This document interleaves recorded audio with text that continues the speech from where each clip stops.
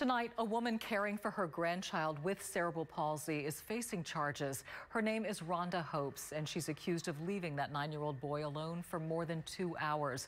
It's a story you saw first on 2 at 5 o'clock today.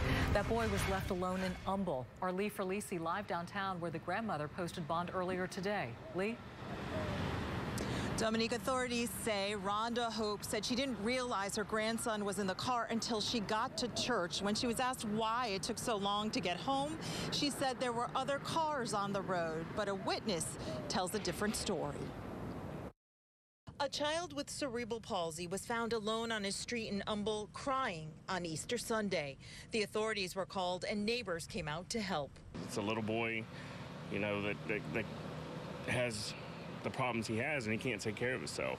Willie Harrison knows the boy's grandmother, who he says is the guardian of the disabled boy and his two siblings. I've never seen her do anything like this. That grandmother, Rhonda Hopes, was arrested for abandoning the child with the intent to return. Neighbors and authorities say it all began when Hopes and the three children got into the car to go to church. She told us he got out of the car and she didn't notice it and she left.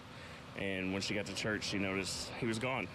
And she turned around and came home. In probable cause court, allegations read aloud suggest a different story. The nine-year-old stated he was told to go inside the residence and turn the lights off.